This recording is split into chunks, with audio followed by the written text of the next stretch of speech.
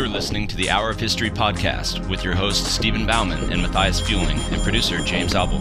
The Hour of History podcast aims to understand how we know what we know and why the past matters. Without further delay, your Hour of History begins right now.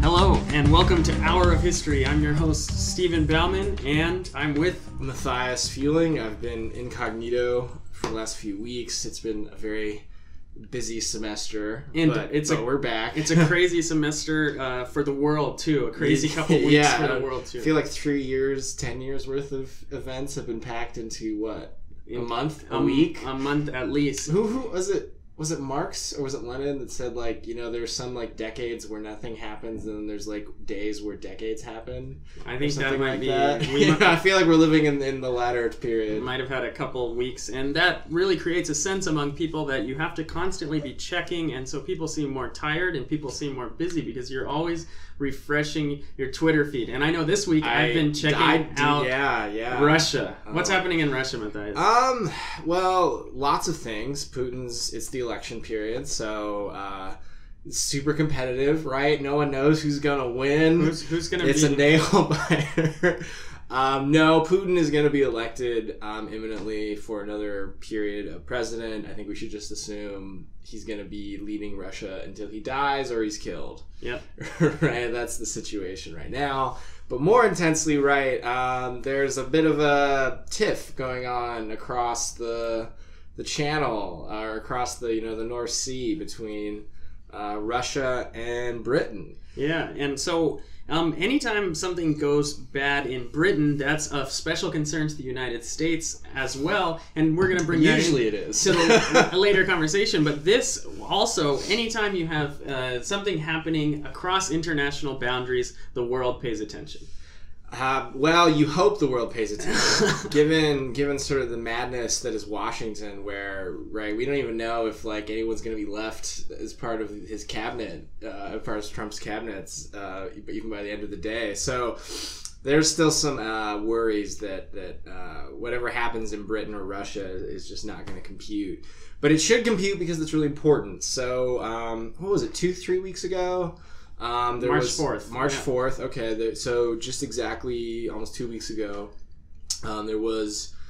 The details are still murky, right? It's still coming out, but from everything we can tell, there was uh, an ex-Russian spy, ex-Soviet agent, probably worked for the KGB and then its successor agency, the FSB, who had defected, essentially, or went into exile in Britain.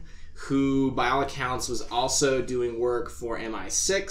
So as these things go, it's still uncertain if exactly if he was a double agent, what exactly was he doing for MI6, but we know that he was poisoned with this incredibly rare, incredibly powerful nerve agent. I think he and his son His his daughter. and his daughter and then his son had died earlier and so they're also worried that had his son been ki- been killed through this agent and this all sounds sort of like okay whatever but the problem is it fits a very um, ominous pattern to many sort of uh, Russians who have moved to Britain or have fled to Britain who had ties with the Russian government or with the Russian um, sort of secret services. Most famously, about 12 years ago, um, there was a former FSB agent, sort of the Russian kind of FBI, essentially. Um, he, Alexander Litvinenko, who was killed with uh, polonium. And then you have various other people who died in mysterious and weird circumstances Do in not Russia share itself. tea with Vladimir Putin. Yeah, don't don't drink the tea. Um, but also, it's it's terrifying because you know it's like who would kill this Russian agent in Britain? That's like pretty. That's pretty ballsy, right? That's pretty gutsy to uh, just kill somebody who's working for MI6 But in I think Britain. this is also an important point that is a little different from Litvinenko. Is uh, is the current one Sergei Skripal? Skripal. Is uh, he. The British have said that he is a British citizen, so Yeah. that makes it. In yeah, so it's so it's war. so it's well, it's, Almost, it's assuming that well, right? So I guess we'll, I will play sort of devil's advocate, even though I'm we all know Russian. Well, no, Russia killed this yeah. guy. But like, so the idea is, it's like, say Russia, say this wasn't a hit ordered by Putin. I think that's like what this all comes down to. Was it like a thing where Putin was like, yeah, kill this guy? If it isn't, if right, if the Russian government didn't order it, it's still terrifying because that means that some rogue person has access to this incredibly powerful toxin, and I forget the name of it. It starts with an N. It's like worse than sarin. It's worse than any other nerve agent. Novichok. Novichok, which is apparently like apocalyptically bad, incredibly dangerous. Which is And at, and, and at the end of this Cold War, I believe Russia was supposed to have destroyed its its stockpiles. So it's also a question of like, well, where did this agent come from? So if the so it's terrifying if the Russian government, aka Putin, ordered it because it means that they're so crazy enough they're so willing like yeah we will go execute you know citizens of a foreign country if they do things that cross us right sort of this like sort of mafia code of omerta but then also it's terrifying if it's some rogue element it's also terrifying that they can just get away with that or do that because how do they get access to these incredibly dangerous toxins Not to mention, yeah, the relationships that Russia has, and a similar nerve agent was used to kill Kim Jong Un's brother in Ooh. Malaysia just earlier. yeah So, yeah uh, so if people like North Korea are also getting hold of this nerve so agent, is Russia supplying them with Yeah. it?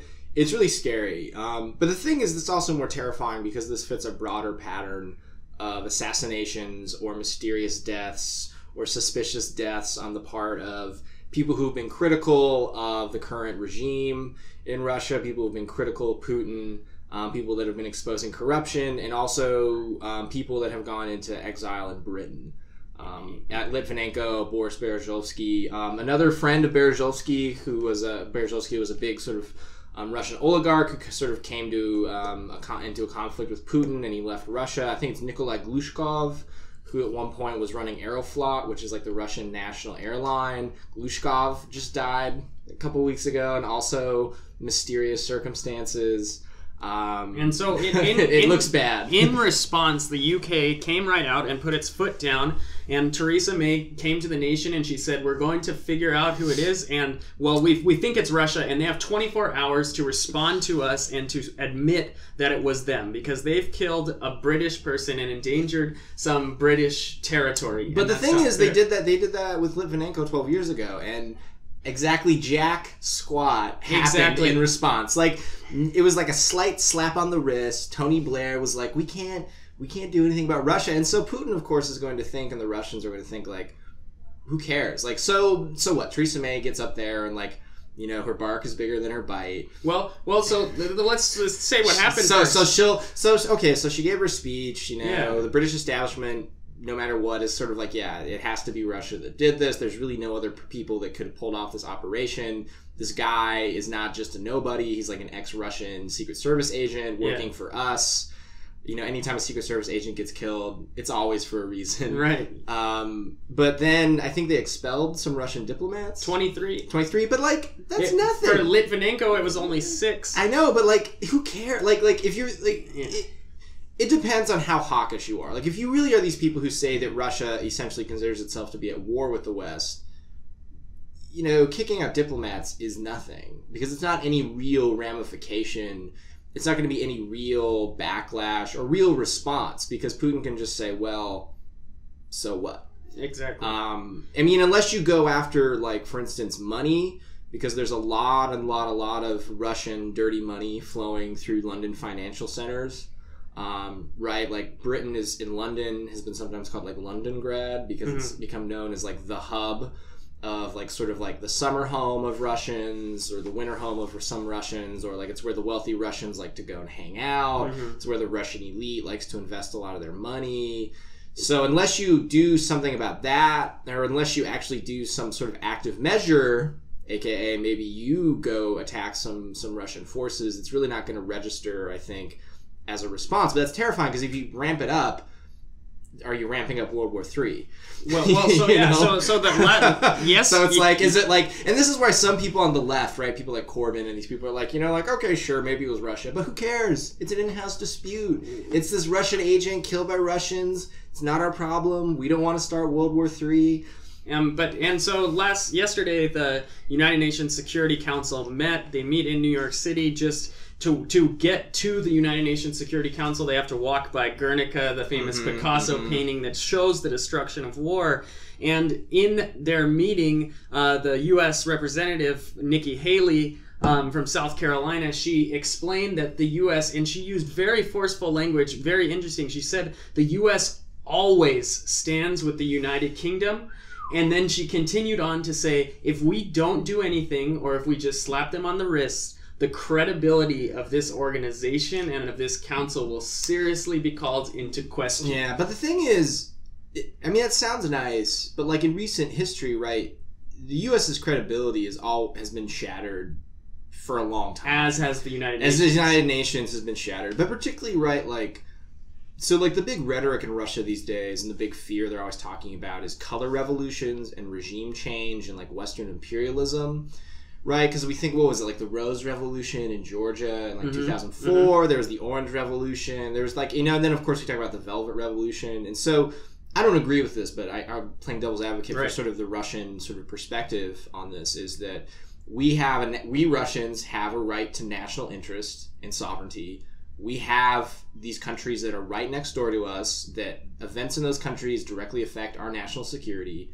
We have a right to sort of intervene in our areas. It's sort of like the Monroe Doctrine, but for like Russian neighborhoods, or like you know for the like Eurasia basically. And so they say like you know it's these it's these stupid you know Westerners who think that they can like export democracy with mm-hmm. these color revolutions, and they always use the Iraq War and Afghanistan as like look how well that worked out for you guys. And then of course we so we lost credibility with the, those invasions because we went under there what under like the like the idea of like we're gonna get rid of a dictator and spread democracy, and then it just Yeah. just turned into just like horror.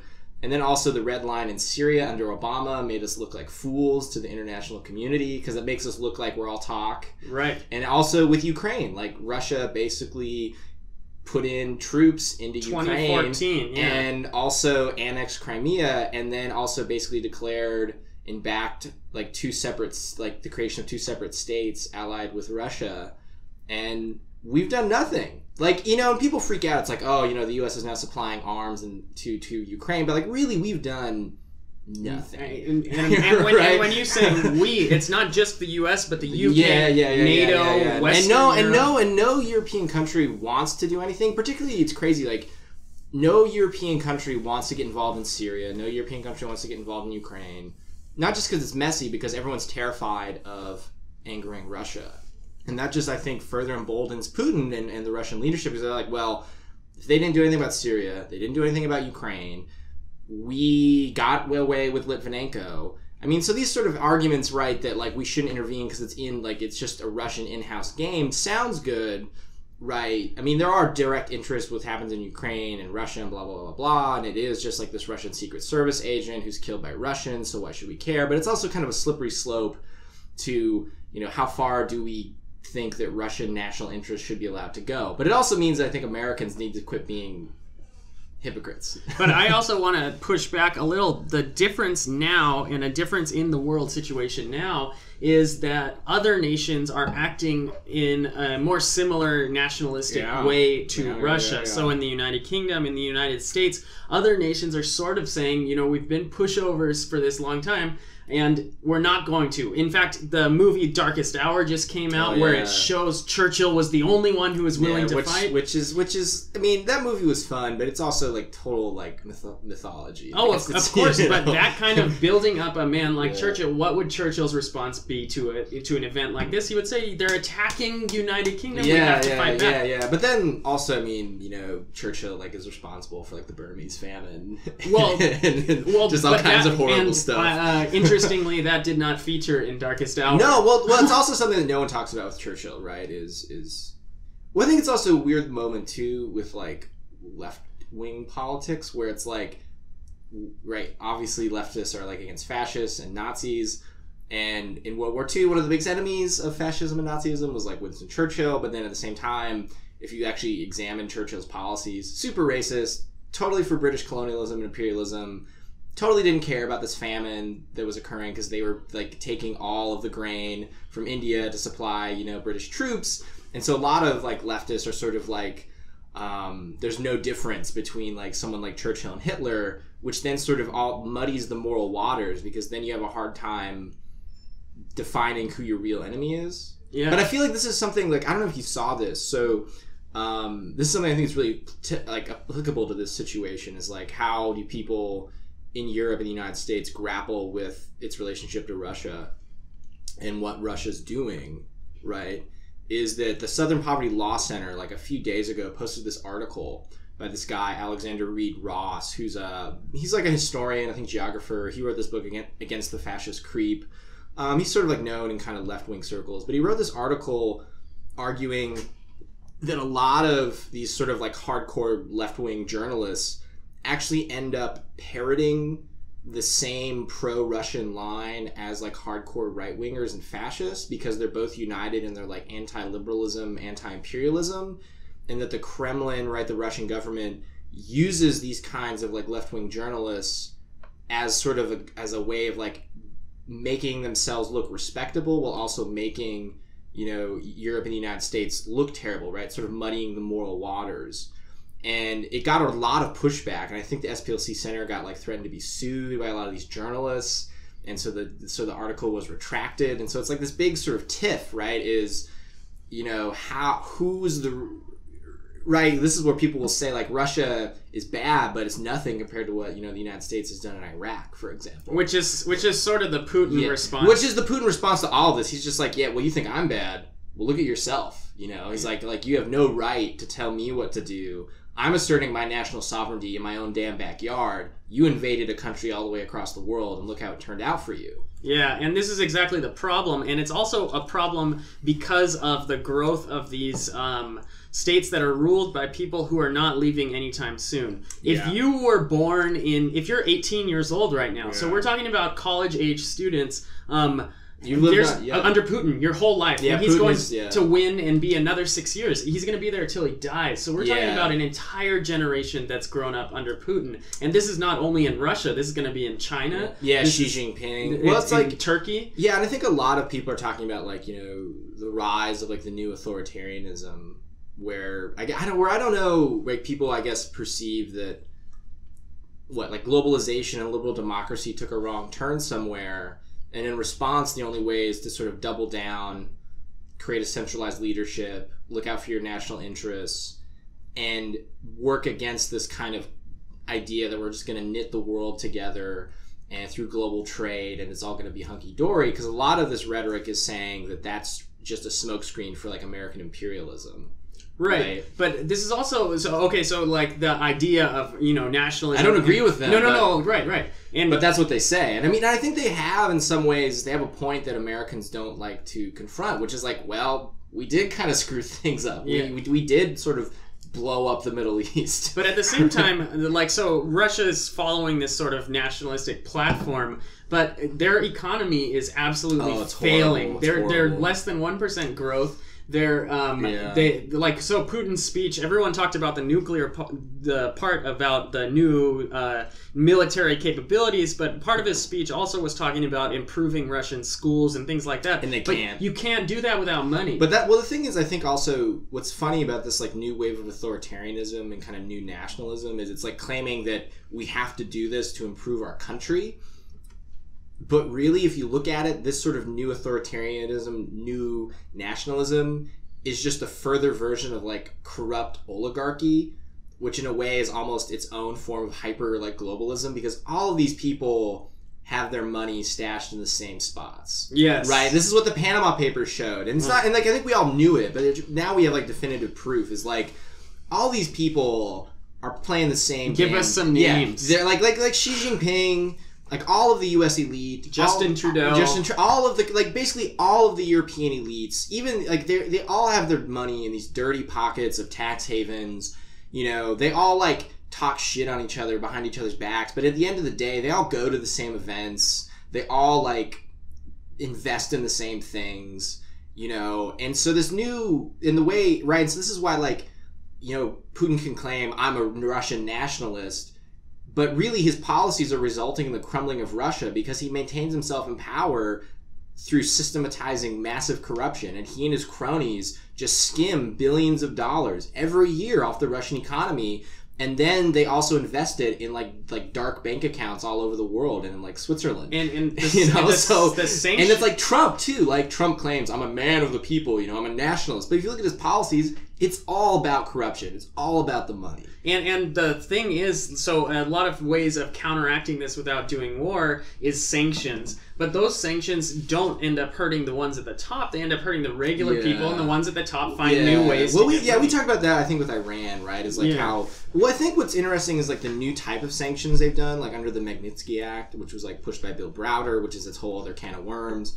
But um, right, the Magnitsky Act says we're not going to sanction whole economies. We're going to sanction individuals, which I think is actually a much better system, right? Because if the idea is that these countries are corrupt because they're being controlled by these like these people then you go after those individuals you don't go after the economy because it's not the fault of like some russian like bus driver Uh-huh. what russia's doing Right. in syria right Exactly. it's not like like they have no stake in that you know and so you need to go after that's the things like you need to go after like the oligarchs you need to go after these people who have billions of dollars of dirty money and you have to freeze their accounts because they're the people who are causing the real damage And the fans of British soccer say do that, but only do it after the Premier League season ends. But that's also, I think, like an acknowledgement that we all know that all of these people, at the end of the day, are like more similar than they are different. different, right? Like Putin, like I really feel like people like this is why like you look at someone like Paul Manafort, right? I don't think it's a surprise that he's like in Ukraine and all and like all through the 80s, right? Who's he advising? Who's he campaigning for? Corrupt dictatorial oligarch figures, right? And then he just comes to the US and does the same thing with Trump, right? I mean, it's almost like the globalization of this like similar system of corruption that masks itself right? It sort of puts up this smokescreen of saying, oh, but we're actually nationalists and we're fighting for like our individual countries, when really the elites of all these countries are like banding together ever more intensely to like group their money together. And what's interesting is the elites have ways of bringing this nationalism into make the people actually proud. For example, Russia, through its c- corruption networks, was able to secure the World Cup for this summer. It's gonna be in Russia. It's gonna be a huge parade. They Yeah. had the Olympics in Sochi, And, so yeah. Putin is bringing these sort of like. Glo- if you're a Russian, that's cool. I would love to have the World Cup in the United yeah, States. Yeah, yeah, And so, and I think it's like the weird thing. Like, I feel like a lot of the stuff that Trump does really makes sense. And if you just look at like what happened in Russia under Yeltsin or under Putin, I mean, it's really quite similar. You know, it's like the similar sort of style of governance where you claim you're making your country awesome, but you're hollowing out institutions. You're basically sort of creating institutionalized corruption, and you're putting all your cronies at the top. But it's like, how do you fight that? You know, like how do you work against that? Because you have to at some point say there are like real like political values that are like good. Right. you know like so you, you're right yeah they're transcendent. You have to like sort of say like yes democracy yes this yes that. But it's hard because there's not many heroes that go back to like churchill. We can claim like oh yeah churchill darkest hour great man but then you look at his policies and you're like oh my god Right, as, as the as the darkest hour is happening, you know, he's Yeah. trying to get the Indians to join the British effort Yeah, as they're you know, starving yeah, yeah, yeah, yeah. And he's like confiscating all their grain Yeah. and kicking off a famine, and you know, like calling Gandhi like a naked little kafir. You know, And, and this is and this is what other the argument has been from the other side has and you know had the United Kingdom lost World War II, we would be talking about Churchill in very Yeah. different ways. Yeah, that's the idea. Is that is that we only like Churchill because he won, right? Because you know, history is written by the victors, and that's yeah. I mean, but that's this funny thing too because in a way, right? The way we like always are like people now will kind of like say, look how terrible Churchill was. Many Russians perceive that to be like we were the ones who lost, and our great men are the ones who are like you know always being like crapped on by the West, and that's unfair. Like so that's why like you know Russians have consistently in the last few years always ranked Stalin as like one of the greatest Russians ever. Even though like And- and- to, even though to our eyes we're like oh my god, but like to them they're like hey Stalin, you know made the Soviet Union a superpower, right? He took the Soviet Union from this like feudal economy to to like a space to, to like one World War in- II. Yeah, and one World War II in like a generation, and they'll say, okay, sure, lots of people died, but we won. And I feel like that's almost the attitude that people have towards Churchill, right? We just sort of easily just like, well, who cares? He won, Right. you know. Yeah. Um, and and this is I, I it might continue and and, Mm. and it seems to be going that way the um de- the, the movie that just came out in 2017 the death of stalin oh, it's, uh, it's coming to the Philly next week. it's a fantastic Yeah. movie Have if you seen haven't it? seen it yes i Oh, saw how did you see it it? uh, british airways because it's out in oh, uh, okay, no spoilers, no spoilers. no spoilers, but it is. I urge everyone, if you get a chance, go see the Death of Stalin. It was uh, banned from Russia. Uh, Mm-hmm. sort of the same thing. The West just showing how ridiculous the leadership of, of the communist regime man. was, Uh, and and it's just creating more tensions. Can you imagine if Russia? Well, of course, Russia doesn't have the sort of uh, span that British television and British media does. But if Russia put out a movie that just criticized, sort of like like FDR made a mockery of FDR. How would it be received? or like Lincoln States? or something or like Lincoln. You know, yeah. it's like, yeah, it would not be perceived well, and so I think it's a problem. Is you see this sort of situation where, but then again, that's playing into that nationalist smokescreen of like, how dare they insult us Russians with this like propaganda? But at the same time, it's like the people harming Russians the most are their own leadership. You know, But it could that could be said about almost any, nation. but I feel like, but I feel like that's sort of the weird political moment we live we're living in, where lots of people are starting to say like, are at least trying to formulate some sort of consensus that we have to push back against this sort of institutionalized corruption that exists at a global level. That is that is sort of just running like veins through all of our policies, right? Like all these big companies invest and lobby every major country you know dirty money they all pool their money in the same places they all have their money in tax havens i'm sure like monseco fesco or, or that was called right in panama i'm sure that's like the tip of the iceberg oh yeah. you know i mean so it's a question i think a lot of people in different countries are going to have to realize. like i'm getting on my soapbox but it's like Yeah. where is a kind of international solidarity going to come from where we can recognize that sure we have national interests but that at the end of the day the real quote unquote globalists are not the liberals they're these like quasi oligarchical Right. neo-fascist types we seem so You know? we seem so uh, so attracted to these identity things, regardless of what's behind it. Like for one example, St. Patrick's Day coming up, you have Oh, yeah, Bushmills yeah, yeah. and you have Jameson. There was a time in Ireland where if you drank Bushmills in the, you wouldn't drink Bushmills in the Republic. It's from Northern Ireland. Northern Ireland. Jameson was the Republic of Ireland. Was now they're both owned by multinational conglomerates. Yeah. But it's still and and rather because the Northern Ireland Republic of Ireland thing's not as hot. The troubles, you know, there's been It- but we'll see how that plays out with brexit well, you know? yeah, yeah, Right. but, but um, but now they're both claiming, and especially to American audiences, well, it's St. Patrick's Day, you've got to drink yeah, Bushmills yeah, or yeah, or Guinness or any of this stuff. and all these are owned by multinational. Yeah. But people don't really, they don't like we we we so just want to be happy and have our Irish whiskey that we're willing to forget that we're putting a lot of money into the pockets of people who really Well, don't care. And what's terrifying, yeah, well, what's terrifying to me, I think, is it's like my own take. I think a lot of these people, like these corrupt leaders who like use nationalism, um, like they're cynical, right? They don't really necessarily believe in that. I think, for instance, like the Russian leadership doesn't really believe it. Maybe they do in some degree. Like Trump, I don't really think Trump at the end of the day really gives a damn about like American people or American history or, or the American nation, except in like some weird, stupid, schmaltzy way. But they use this hyper nationalism to like boost their credibility. But i'm really terrified right is like once you kind of like let a tiger out of its cage you don't control it anymore. Yeah, and i feel as if a lot of these people are sort of riding trying to ride this tiger thinking that particularly i think in russia with like the ramping up of nationalism since R- putin got elected again in 2012 and, and america under trump is that these people are using like the republican party it's using this hyper nationalism to base its support but that leads really quickly to fascism right? Or like to some sort of nat like incredible evil right? To Which- exclusionary yeah yeah yeah. So yeah. it's so so so which they don't want to recognize because i think they also maybe in their lizard brain know that if you get like a fascist movement it's going to kill them too yeah, but they don't want to stop what they're doing that and what they're doing is continuing to build towards that kind of birth of that kind of movement because then they'll lose their power and so it's like a situation where i've almost said that like putin almost in a way is like trapped yeah. by his own power at this point or trump right like they can't leave now because if they do they'll get killed Putin would, I Or think. go to jail. or they'll go to jail because they'll be prosecuted.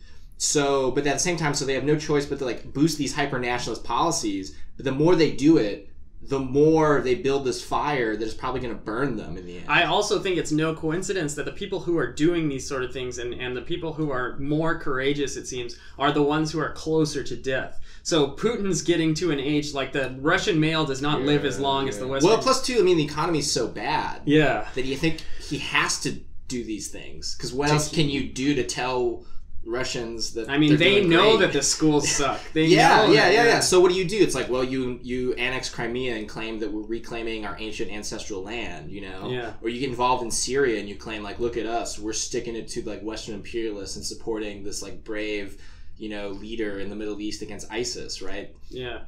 It's all bullshit, but Right. but it but it, it helps boost their credibility until you see what like the rise of like a Russian fascist movement.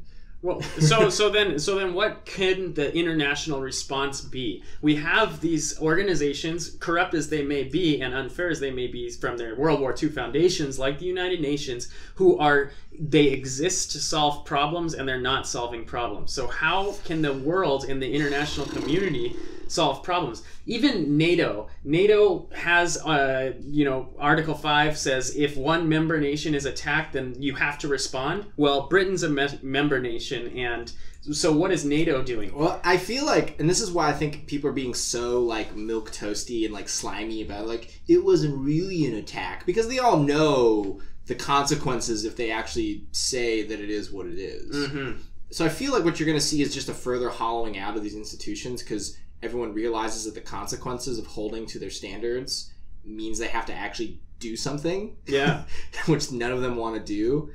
I don't know. I mean, I'm really sort of terrified. yeah. We've Um, also lost. right? Speaking of time, I'm terrified. We've lost the generation that fought World War II. They're Mm-hmm. dying off. So we don't have a generation that fought. Uh, and you know, we have or that like remembers the similar kind of situations that we're in now. exactly. I'm, I mean, I'm really scared. I mean, I don't know if there's a good answer other than sort of like that schmaltzy milk toast answer of like believe in democracy, believe in liberty, fight for freedom. Because I just I don't know if there are any like real. I mean, v- vote Republicans out of office in the United States, right? Like I don't know. Yeah. You know, it's hard because this the deck is so stacked at this point, and things are getting so crazy across the world. I mean, I like to hope that something will change, but I don't know how. Should the world just let Russia annihilate Russians abroad? I, I don't know. I mean, no, I don't think so because I feel like I read this really good book. Maybe I've talked about it before on another episode. And maybe this book has been accused of being like a neoconservative stance on Russia. So take that with a grain of salt. But he had this, it, it was this guy, Peter Pomerantsev. It was called Nothing is True and Everything is Possible. Kind of like the rise of how like there's like this like mass nihilism in Russia because of like the massive corruption.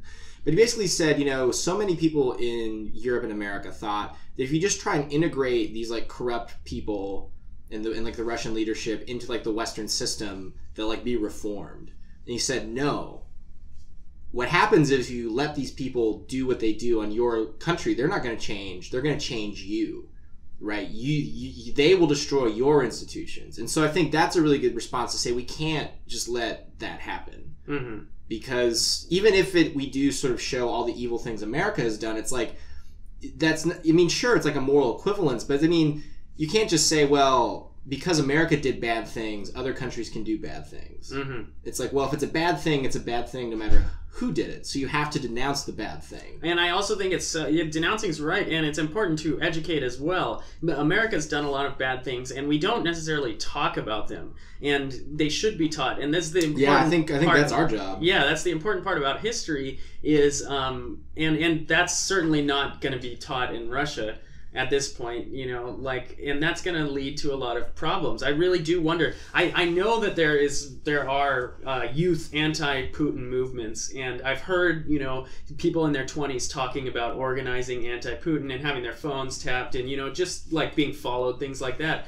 But I don't know if that's representative of most Russians. I'm curious, and those I- kind of cultural exchanges, I think, are I don't know. just invaluable. What is an 18 year old Russian who's who's and I'm sure it varies from you know Moscow to the yeah. to the hinterlands, but but that's important as well. Yeah, we'll see. I mean, I really feel like I mean, I guess you could say this at any time in the 20th century or like the last 300 years, but like I really feel like the next decade is going to be incredibly critical because I feel like there's we're like especially with climate change, everything's at such a like there's just a lot of problems.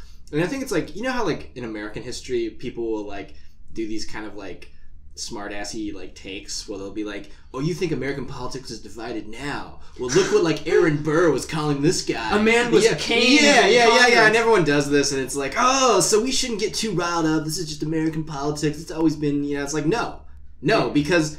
Guess what? They didn't have nukes back in like the 1820s, right? They didn't have like the threat of overwhelming like en- environmental They disaster. didn't, they didn't have a They did- powder that you could yeah, put on a yeah. bench that they, kills Yeah, someone. they didn't have like the insane amount of like destructive potential that we have now, and they didn't have the same sort of like massive prison complex that we have now, industri- military industrial complex. But there's also something. so I feel like it's like sure, but the stakes are a lot higher now. I think there's also a difference, though, is uh, no one I've talked to, certainly, and this is a question I like to ask when people hu- advocate the hawkish approach, is I say, well, are you willing to go die in Russia so that they might be more. Yeah, that's the thing. Is like, are you? I mean, that's the thing. Is it's, it's interesting. We're not seeing any like equivalent to say like the Spanish Civil War. Yeah. Because in the 30s, that was the thing. Is like people were like the Nazis are involved in Spain with against the Republicans. You know, we need to go fight for this cause. But you don't see a similar movement happening of like Europeans or people from from the Americas going to fight in Syria